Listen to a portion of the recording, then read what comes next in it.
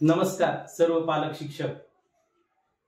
आपल्या शाळेतील विद्यार्थी हा प्रवास करताना विविध साधनांचा वापर करत असतो. आणि यापैकी एक साधन म्हणजे आगगाडी. आगगाडी कशा पद्धतीने असते?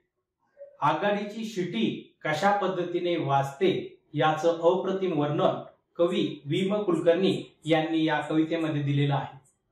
इंजिनाचा धूर त्याचबरोबर आगगाडीची चाके आणि गाडीमध्ये सामान कसे ठेवावे? आगगाडीमध्ये कशा पद्धतीने बसावे? आपण आगगाडीमध्ये बसताना तिकीट काढत असतो. त्या तिकिटाचे पैसे काढताना होणारा आवाज अतिशय छान पद्धतीने कवीने या ठिकाणी रेखाटलेला आहे.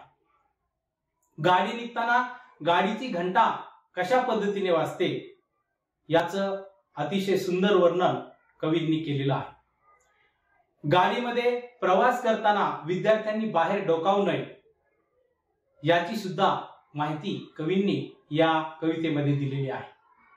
विद्यार्थ्यांना अतिशय छान पद्धतीने आवडणारी ही कविता गाडी आली गाडी आली आपण पाहणार आहोत.